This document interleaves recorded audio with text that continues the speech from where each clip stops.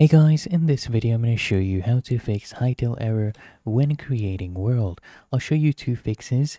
Each one works for different people. The first fix I want you to do is just right click on your time here at the bottom right.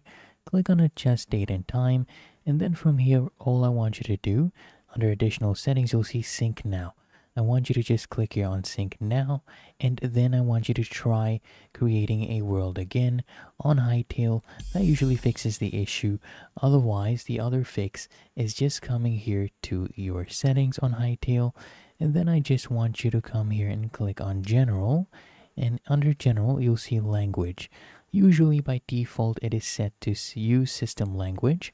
I want you to click here and change this to English US. So once you go ahead and change that, make sure you save your changes and then try creating your world. It usually works. And that is how to fix Hytale error when creating world. If you found this helpful, make sure you smash that like button and subscribe to the channel. It really helps me out as well.